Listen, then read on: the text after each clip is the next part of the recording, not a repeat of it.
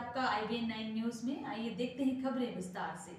सतवास में श्रीमद् भागवत कथा के प्रथम दिवस पर थाना परिसर स्थित अचलेश्वर महादेव मंदिर पर पूजा अर्चना कर कलश यात्रा निकाली गई। मंदिर परिसर में डॉक्टर कमल सिंह डोडे ने सप्तनिक वैदिक मंत्रोच्चार के साथ पूजन कर श्रीमद् भागवत कथा को, ग्रंथ को मस्तक पर धारण कर कलश यात्रा में सम्मिलित हुए। कलश यात्रा के दौरान बैंडबाजों के साथ भजनों की धुनों पर महिलाएँ थिरकती दिखाई दे रही थी।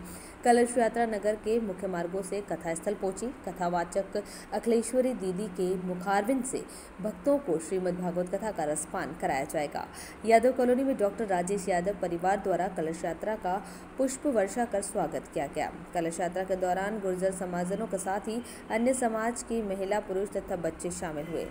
सतवास से शलभ गौरानी की रिपोर्ट। अभी के लिए इतना ही। लगातार खबरों के लिए बने रहिए आईबीएन न्यूज़ नाइन के साथ। नमस्कार।